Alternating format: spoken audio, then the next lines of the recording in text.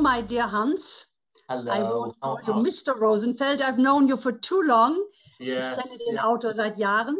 Ähm, dear Hans, how are you after all these months of Corona? Wie geht es dir? Uh, I'm good, actually. I mean, it hasn't affected me that much. I'm, I'm in my office. Uh, I have my own office. Uh, I live close to the office, so I can walk over there. And, you know, Sweden, we haven't really had any lockdowns or so things are, for me, quite good. Could be much, much worse, but writing and, and publishing books are actually, yeah, it's been working quite well for me. And I'm not that worried personally either. So, you know, I'm, I'm, I'm remarkably good, I'd say. Mm-hmm. Gott sei Dank ist Hans Rosenfeld gut drauf. Äh, Schweden hatte ja eine ganz andere Art, mit dem Lockdown umzugehen oder auch mit Corona. Ihm geht's gut und sein Büro in der Nähe. And I think writing is anyway a sort of lonely business where you sit in an ivory tower and you don't have to meet people all day long. That's an advantage now, isn't it? It is. It has been an advantage now, and uh, and even when I'm allowed to meet people, you know, you know, I try to avoid it. So, uh, so it's been it's been actually it's been an okay spring for me and summer. It really has. Also Gott sei Dank hat der Autor den Sommer gut überstanden und man weiß ja, Schreiben ist ein einsames Geschäft und für Autoren nicht so schlimm. And I'm happy at least to have a wonderful companion in your room, the elephant. The elephant is yeah, one one uh, one of the walls in um, in my office is is uh, floor to ceiling that elephant. It's very nice, isn't it? It's wonderful. Er hat einen makes for a Elefanten als. Begleiter. Yeah. It's a thing of beauty. Dear Hans, it's now the first time that you've been write, you've written a book, a novel as a single person. You've written, of course, scripts before. You did a lot for television under your own name, but we know you together with your friend and colleague, and now you started your own career with this. Well, with this book, which I guess is not a standalone, but how is it now to be all on yourself and write a novel all for yourself, or alone, so to say?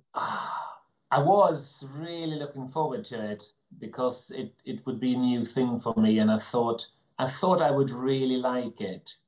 Uh, then I started, and I still kind of liked it. And then you know you you get into these uh, you get into the bumps in the road, and then I realized, oh, I don't have anyone to talk to about this. I don't have anyone to kind of ask for advice or discuss the, the future of this this character or this strand or this so then, then I felt very lonely, and I also kind of started to doubt. Oh, maybe I need to work together with someone. So it was um, it was uh, exciting at first, really difficult in the middle, and then I kind of get a hang of it, and then I enjoyed it again at the end. Ganz kurz noch, Hans Rosenfeld ist ja berühmt dafür, dass er mit seinem Kollegen zusammen wunderbare Bücher geschrieben hat, mit Sebastian, einem schwierigen Helden in der Mitte. Jetzt hat er das erste Mal einen Roman alleine geschrieben.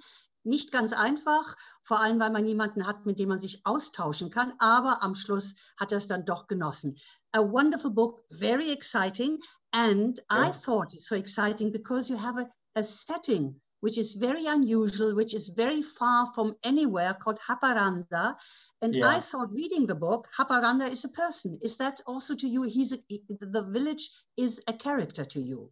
Yes, I decided to. I did for me. I did a, a quite an extensive research, and I was up there. It's very far north, northeast, the farther furthest east you can come in Sweden. Very very close, just on the border to Finland, and uh, so I did extensive research and visited it quite a few times, and then I realized I need to kind of embody her. I, I call it her uh, in some way. So yes, she became a character. She became um, a kind of a a kind of a sleeping god or a Greek choir or something. You know, seeing and knowing things, but she can't. She can't interact. She just she just have to watch things happen. Der Roman spielt an einem ganz abgelegenen Ort oben an der finnischen Grenze, Haparanda. Und für den Autor, für Hans, ist das Ganze wie eine Person, wie eine schlafende Gottheit. Haparanda spielt eine Rolle, aber kann sich nicht in die Handlung einmischen, sondern ist einfach da, ist aber wie ein Charakter in dem Buch, which is a great thing. Actually, did you get the idea for your novel while visiting Haparanda and seeing this very remote village in the northeast? No, I actually I had the idea of putting it there before uh, I the first time when I went up to to to visit it, I already knew this was where I was. This is where I wanted to be. I, I visited it uh, about ten years ago um, for a couple of days, and can't say I really remembered much. But when I um, when I when I was thinking about a setting for my first book, I was thinking, hmm, Haparanda. It's um, not many books has been written about Haparanda. Um, I, I, I, I, just don't know one, uh, which is a Swedish kind of classic. But otherwise, Haparanda is, um, it feels kind of exotic, I think, even for Swedes. Mm. Also das Buch ist schon sozusagen als Idee vorhanden gewesen. Ähm, Hans ist vor Jahren in Haparanda gewesen und er hat sich dann diesen Ort ausgesucht, denn keiner hat bisher über diesen Ort geschrieben, der wirklich am Ende der Welt liegt, aber ein spannender Ort ist. It's, um, I saw a short sort of film. I think you talked about Haparanda, and it's yep. really it's like in the wild, wild west, one of those forgotten little towns. So, but you have a police station there, you have people living there. So, did you have to invent all that, or is it still in Haparanda? Is it's still in. It's not that small. It's uh, about nine thousand inhabitants, hmm. and it has a police station. It's it's not it's not uh, manned uh, around the clock. It's like open nine to three, uh, Monday to Friday. uh, the, the, the closest big station is about one and a half hour car away. Um, so it is remote, but it's it's no, it's very it's a very functioning small town or, or city, uh, and it also has uh, as if you read the book, you know it's the it has the further north, the most northern placed IKEA store in the world. So it's uh, there's quite a few people coming to Haparanda, uh, if not at least a shop. Also Haparanda ist nicht so ein verlassener Ort, wie man gedacht hätte von einigen Bildern, die es gibt, sondern es hat auch eine Police, äh, Polizeistation, die allerdings jeden Tag nach bestimmten Stunden arbeitet. Es hat 9000 Einwohner und es hat vor allem den nördlichsten IKEA-Laden von Europa, muss man sagen. Also ganz was Erstaunliches und Besonderes. You but said the, I, I'm sorry. It's very close to nature. I mean, you just have to step outside and then it's this vast empty you know forests and the lakes and the and the and the river and it's it's it's you don't have to go far to be in very very wild uh, northern nature which is amazing Also man ist schon mitten in der Natur, wichtig für den Roman. It's very important for your novel because you have a lot of nature in the book, the forest where people die and uh, a body is found. And uh. I want to say how he died, but very exciting. So while writing, did sort of nature and the place itself have an influence on your writing, although you had the idea before that? I think, uh, yes, coming up there, I think you could you, you kind of get into another pace, I think. You get another tempo in your body when you're up there. And I also think that living there is, is another pace. The, the different uh, times of year is much more vivid there. There is months of complete darkness. There is months where it's never dark. Mm-hmm. So it's, um, I mean, it, that affects uh, even the inhabitants. Uh, up there. So and nature, I think, is it's good because there is there is a distance between people. You know, everywhere you go, you go for quite a big distance, and if you want to, you don't have to see another person for well as long as you want. So I think it is, eh, even though I not address it directly, I think you know there's a, there's a flavor of it throughout the book just by placing it there. Also das Buch hat schon die Atmosphäre dieser Natur und des Ortes sehr übernommen, denn es ist ein einsamer Ort mitten in der Natur und die Menschen müssen sich nicht sehen, muss ich sagen, in Corona-Zeiten geradezu ideal. Man wird sich kaum anstecken, aber natürlich spielt diese Atmosphäre eine wichtige Rolle im Roman und vor allem auch der Rhythmus der Menschen, natürlich mit der Natur eng verbunden. Now the dark age sort of starts. We have end of September. I guess now the yeah. long dark months begin, which is a horror horror idea, I must say. terrible. And now uh, yeah, now, you know, that's also is kind of, but because pretty soon, if uh, starting in November, you get the snow. Mm. So you that kind of even, and then you get well the lights from the from the street lights on the houses, and I mean the snow is helping, and mm. Yeah, it's it's not it's not as bad as it sounds to be in complete darkness for a couple of months. It's it's really not. Der Schnee hilft Gott sei Dank, die dunklen Monate etwas heller zu machen. Was sehr spannend ist, in dem Mittelpunkt dieses Romans stehen zwei hochinteressante Frauen. It's interesting in, you know, the focus in this book, there are several interesting male characters, but especially two women, Hannah and Katja. And yes. those two women are fascinating. I, we're not allowed to um, portray anything about them, but um, how did you have the idea to put two women in the middle of your book and have them as the well, the hero and the anti-hero? Uh, well, the first, uh, I have written uh, quite a lot about women lately, uh, but on the TV side.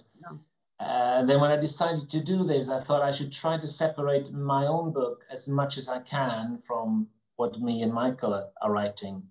So then I thought, okay, so we have a male protagonist. Let's, when I write, let's have a female protagonist, and that is Hannah then. And then I needed, uh, well, there's a few more um, antagonists, but Katja is the biggest one or anti-hero.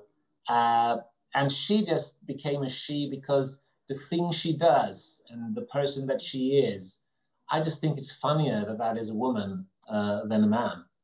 Mm-hmm. I think the, the kind of thing that she is capable of is more fun to read uh, when a woman is doing them and then the man is doing them. Also natürlich. Yeah, yeah, that's, that's true. But it's fascinating. Und auch natürlich hat Hans Rosenfeld zusammen schon mit, auch mit seinem Kollegen über Männer geschrieben. Er selber schreibt viel über Frauen. Seine Drehbücher, vor allem in englischem Fernsehen, sind oft über Frauen. Aber der Reiz war, dass er jetzt mit seinem sozusagen ersten Single-Book, wie ich das nennen möchte, äh, starke Frauen in den Mittelpunkt stellt. Und äh, dass er, Hannah ist Polizistin und Katja die Gegenspielerin Und es ist viel spannender, dass sie eine Frau ist und kein Mann ist für die Dinge, die sie machen. How much of a challenge was it to, um, you know, to invent these two women that are very different in many ways, but very similar in other ways because they're very energetic and they're really focused.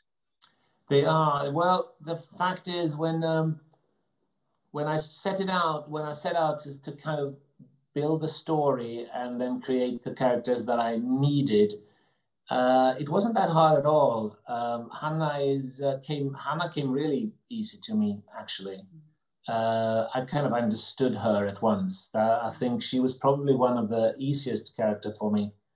Uh, with the, especially with my TV projects, with the Saga Norén in the in the bridge and uh, Marcella in in the in the Netflix show. I think I have kind of grown into them as when I, while I was writing them uh, with Hannah, I was pretty, pretty, I was pretty clear with her. I kind of knew her when I started to write. So when things happened to her, I kind of knew, oh, this is how she will react to this. This is what that will do to her. This is, so she was uh, remarkably easy, actually. She's, um, she's very much uh, based on my wife. So maybe that's why, uh, maybe that why it came so easy for me. Also Hannah war verhältnismäßig leicht als Figur für ihn zu ent entwickeln. Er hat ja auch schon mehrfach wichtige große Frauengestalten in seinen Drehbüchern gehabt. Marcella zum Beispiel in England eine tolle Serie, Great Stuff on Netflix. Und ähm, er hat sich leicht in diese Frau hineinversetzen können, vor allem da sie ein bisschen seiner eigenen Frau nachempfunden ist. What did your wife say when she discovered that Hannah is very much based on her? I think she she just discovered that kind of uh... a couple of days ago when I did a Swedish interview, and I and I said that you know part of that is very much based on my wife, and I don't think she really realized that she hasn't read the book yet, so oh. um, she doesn't know, or well, she did didn't know until then. Um, I think it was just like I think that was kind of expected. Mm. You know, I haven't based much on her, and I realized I, th- I think she thought that yeah, well, it has to happen sooner or later, so why not? I think she's glad she became the hero of the story and, and uh, not Katja really. Ha. Ja, die ja. Ehefrau hat spät erfahren, dass sie überhaupt das Vorbild ist, erst vor wenigen Tagen. Und Gott sei Dank ist sie ja das Vorbild für eigentlich die gute Person. Although I think Hannah is fascinating because she's ambivalent. She's not just a good person, but she has sort of her dark sides as well, and that makes her fascinating. So, I mean, your wife can be very proud.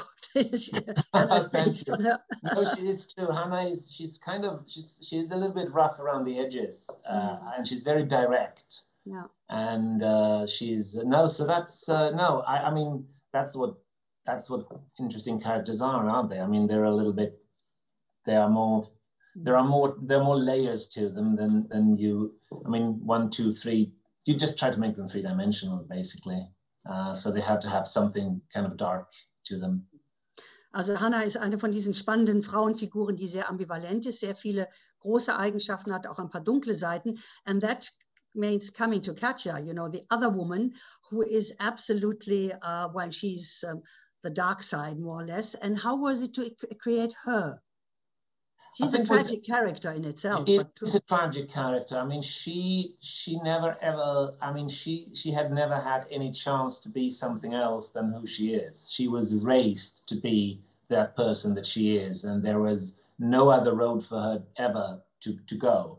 Mm. And so, whether or not she actually enjoys it or likes it, it doesn't matter because this is who she is and this is what she does. Uh, so. Um, she, but I like I like the kind of backstory that we bring into her in this in this first book. We are going to to do um, and maybe that's a spoiler. Yeah, maybe. But we are now we are going to dig more into that later in the series. But um, so uh, no, but I think she's fascinating because she doesn't reflect much mm. on what she's doing. She's uh, because she is, as I said, she's she's a trained killing machine. That's what she is and that's uh, and we know more about perhaps how she came to be that than she does. Uh, and I think that it's that it's fun that it's giving a kind of redeeming character that this is not she's not doing this because she's specifically fond of or think it's fun. She's doing it because she know, knows absolutely nothing else. Katja ist so faszinierend, weil sie ist eigentlich eine Killermaschine, aber spannend ist, warum wurde sie so? So viel Spaß dran hat sie nicht. Also sie ist eine sehr, sehr fesselnde Figur, aber ihre ganze Vergangenheit und all das, was sie erlebt hat, hat sie dazu gebracht. Wir werden da noch mehr erfahren. Im Buch erfährt man auch schon einiges. Um, so it's uh, was it for you when you started to write the book? Was it actually you had these two female main characters and then you were sort of webbing your big net around them, or how did you sort of was the genesis of this story, which is a lot mm. about drugs and killers and Russian, Finnish, Swedish complications? Yeah. So how did it develop? I think it, yeah, it, it I think it started, I, am not sure, which I probably should be, but I think it started more with the, the actual, the kind of crime, the first, mm. the, the crime and the thing that a lot of people, a lot of, of violent and uh, powerful people were chasing something uh, that the Swedish police also wanted to find. I think that was the kind of, and then I kind of who are the chasers. So it's um, so it's Hanna from the police side, and then it's Katja from the more from the more um, criminal side, and then I just kind of started figure, um, planting other characters who are basically all a bit I mean, none of them is really making any good decisions throughout the book, which I thought was fun. Uh, so it, it, it, was more of, yes, these two trying to, chasing for the same goal, while other people is basically just trying to survive and make the best of their situation. So that is, uh, but um, yeah, the crime and the people who wanted to solve it for different reasons was the, the absolute first idea. Also das Buch basiert vor allem auf einer Grundgeschichte, dass sowohl die Polizei als auch die weniger sympathischen Menschen in der Gesellschaft etwas jagen, etwas versuchen zu bekommen. Und daraus entwickeln sich dann die Situationen und viele werden hineingezogen und alle haben sozusagen auch ihr Päckchen zu tragen, würde man auf Deutsch sagen, und vor allem machen auch viele falsche, falsche Entscheidungen. Um, and so the story really spreads from the forest into the thing. And I think that you have a lot of very interesting ideas about your uh, uh, protagonists. Some of them a bit reminded me of was it Bullitt, where the the, the bad uh, the, the criminal is so charming that everyone hopes he gets away with murder. So was that because you're a film person as well? Was that a bit in the back of your mind that not every criminal is so evil that he should be well punished, or some yeah, people who make wrong decisions? I think we have that very much in, I think most of us writing uh, crime stories and, and, crime fiction in Sweden have this kind of, we're born with the kind of, we need to understand, we don't need to accept the actions, but we need to understand the reasons behind why people are doing bad things. Um, and I, I, think we, we are so, we were brought up with that um, for ages that you just you don't just have an evil person. We don't really have the the full blown psychopaths in Swedish crime. We try to give them a reason. There is an underlying reason for why they are doing the crimes they are doing, and uh, and yeah, there's there's nothing different here. I think maybe is a little bit more outspoken with the, the reasons for for them being into into criminal businesses uh, because I've yeah, because I also wanted to to kind of fill Haparanda with very vivid living persons and not being more than one thing. Uh, because since I set it out to kind of put Haparanda on the crime map. Nein, es ist spannend, weil natürlich die schwedische Tradition, die skandinavische Krimi-Tradition auch immer versucht, warum werden Leute so, wie sie sind, warum begehen sie Taten, aber nicht einfach Psychopathen, die sinnlos durch die Gegend laufen, um es mal salopp auszudrücken. Und natürlich ähm, ist das eine Tradition der skandinavischen Literatur. Darum ist sie auch so erfolgreich. I think that's the reason why you're so successful in Germany, because you have these characters that are not just psychopaths running around with foaming mouth, but have more to them and have a yeah, soul. And the, and the good characters are not, you know, we don't we don't really do the heroes and villains mm. kind of thing. We we try to make them all blend into a kind of a gray area in the middle Mm. How does how does that happen? Why is Scandinavian literature? I mean, the American literature goes other ways. They have a lot yeah. of psychopaths. The English literature is more like the Scandinavian. I think they always say, "Why did someone do it?" Like Val McDermid or P.D. James. But is yeah. it is it where does your tradition come from? The Scandinavian is it related to more the Anglo-Saxon relatives in Great Britain? I think it's. Uh, I, I, think I just read a book about uh, uh, um, an interview book about uh, Sjöwall in the '60s. That, that they that the ten novels they made, uh, novels about a crime, and they were very. I mean, Maj Wahlöö in an interview there, she says very uh, that that was they set out to kind of humanize criminals in that series, and that had such a huge impact on Swedish crime writing, uh, which looked different before that. No. Uh, and that had such a huge impact. It was kind of a rule book uh, for many, many years. If you wanted to do Swedish crime, you needed that kind of ingredients that Sjöwall brought in. And then Henning mm. picked that up and kind of brought it further 10, 15 years, 20 years. So it, it's, uh, it is a, just a we're, we're brought up to it and it, we're brought up with it. I think it's probably, yeah, I, I don't think it, we took it from the from the English. I think actually it is a very Swedish way of writing crime um, and has become like the, that's how we do it um, in a kind of way. Sjöwall Wahlöö ist natürlich so ein, ein Stichwort. Die beiden Autoren, die den schwedischen Kriminalroman in den 60er Jahren sozusagen revitalisiert haben und geändert haben und Traditionen hineingebracht haben, bisschen verwandt mit den Engländern, die weniger Psychopathen oft haben als die amerikanischen Verwandten. Und diese Tradition hat sich über Henning Mankell fortgesetzt und jetzt auch mit dir und anderen schwedischen Autoren. Das ist eine ganz andere Art, mit den, Krimi mit den Mördern, Verbrechern umzugehen. Sie sind Menschen und nicht nur böse sozusagen. Sehr, sehr spannend. Um, what does it do with the readers? Because you're writing for a large audience, especially the German audiences love you, especially when you come on stage, everyone is happy. So yeah. why do you think that the Germans have this uh, strong relationship towards your sort of the, the Scandinavian way of describing murder and crimes? Um, well, I think you should, you, you probably know that better than me, but uh, I'd say it's, well, we are good. We are good at creating we are good at creating characters that you you want to, to spend time with.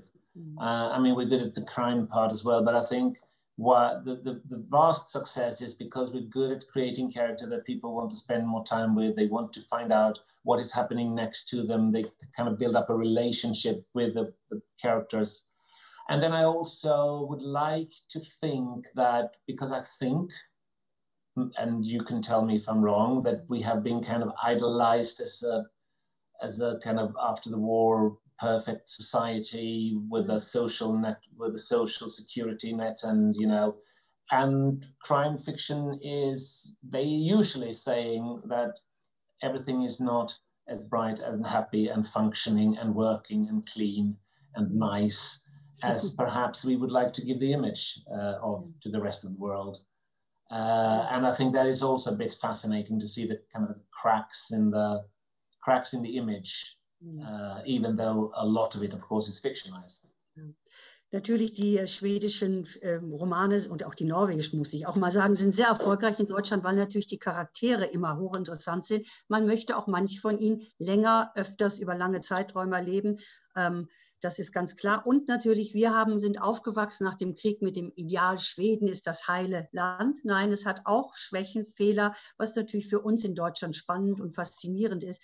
Und äh, wir natürlich gerne auch lesen, dass die perfekte Gesellschaft nicht nur perfekt ist, aber trotzdem liebenswert, würde ich sagen. So, talking about your characters, Hannah is a, a, woman one would like to meet. So I hope, because the story is not finished at the end of the book, you have a wonderful cliffhanger. So I do hope you go on, although you write in the in the afterword of it, we, we have to wait for a while to Hannah for Hannah to come back. But is that so? Is there no idea sequel next year? So I don't have to wait so long?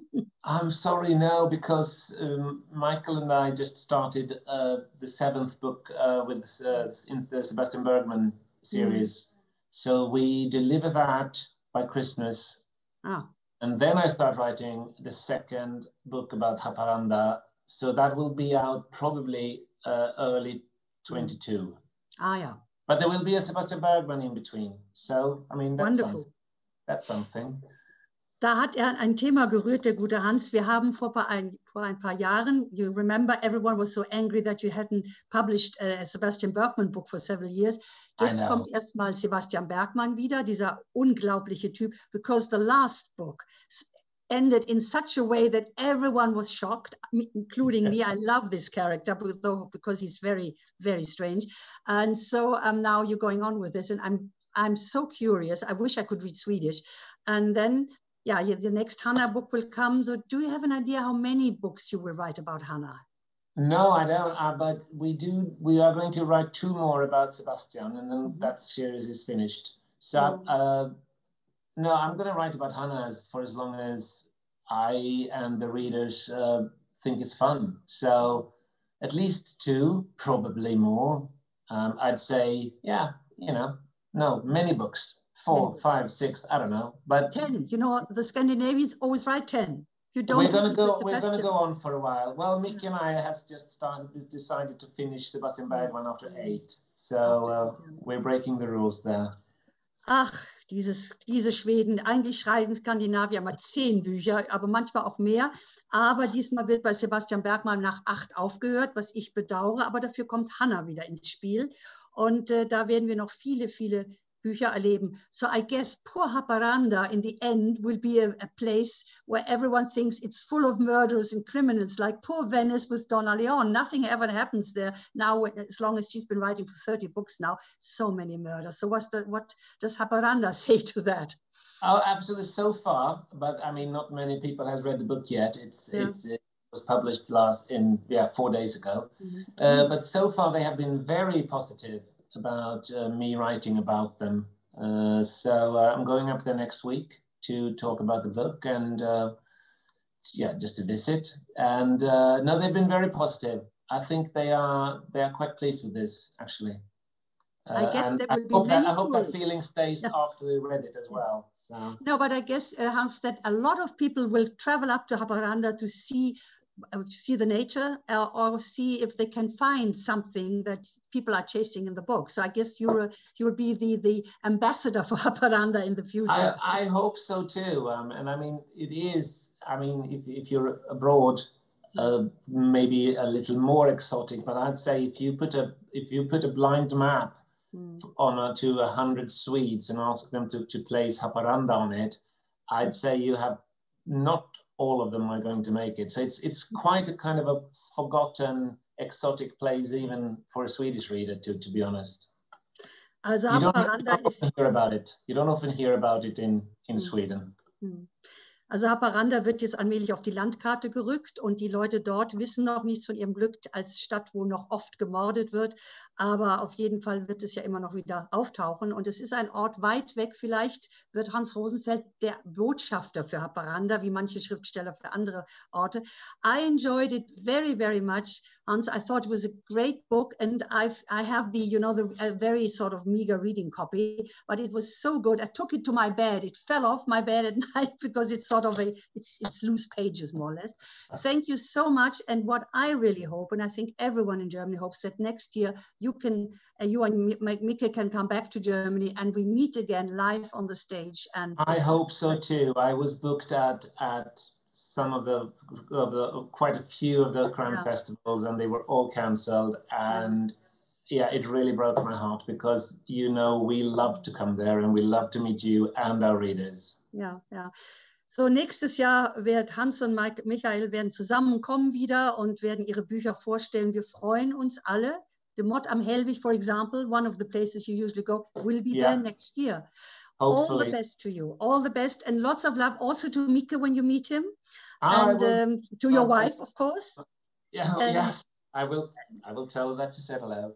And this book will come out. Das Buch kommt am 13. Oktober heraus in Deutschland. Die Ausgabe 13. Oktober ganz bald und zwei Wochen noch. Und dann könnt, können alle lesen über Hannah und Katja und den Wolfsommer. Thank you so much and have a wonderful time. See you again next year then. Thank you. It was lovely talking to you. Bye bye. Yes, I hope we talk again. Bye bye. Thank you very much. Bye bye. Bye.